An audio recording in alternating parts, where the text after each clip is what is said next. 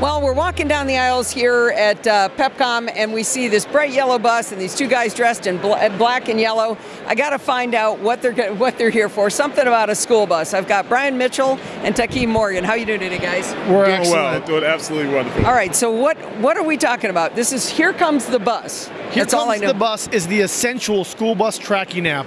A school district purchased the technology, which is a GPS tracking piece of uh, hardware that goes in the bus, and the parents and students get the free mobile app that tracks the school bus in the morning. So you know exactly when the school bus will be at your house. No more waiting in the cold for it to show up or showing up and having the bus already have departed because it came early that day. Every day you know exactly where the bus is. It's Uber for 10 year olds. Oh, nice, nice. I like it. Can you call the bus? Tell them to come cannot- get you.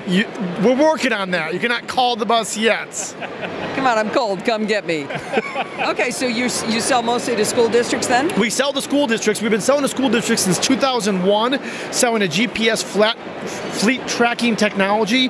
What this is, though, is a parent facing or a student facing app that allows there's me, there's my school, and if we were at 7:30 in the morning, you'd see my school bus kind of tracking along there, and you know exactly when to go outside and catch the bus. Oh, that's that's pretty cool. Not so bad. so how would somebody get into uh, to using this? You just your school district has to Correct. Your get or maybe you demand it.